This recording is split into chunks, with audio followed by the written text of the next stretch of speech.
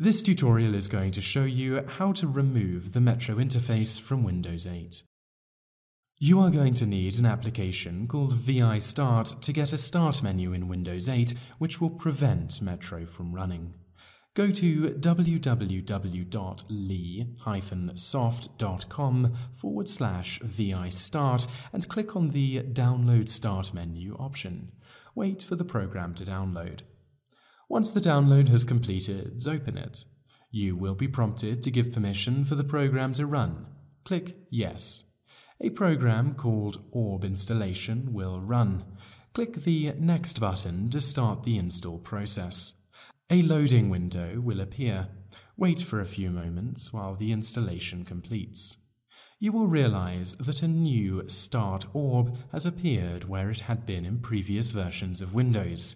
Click on this to explore the new Start menu, and you will notice that it is very similar to that which was present in Windows 7.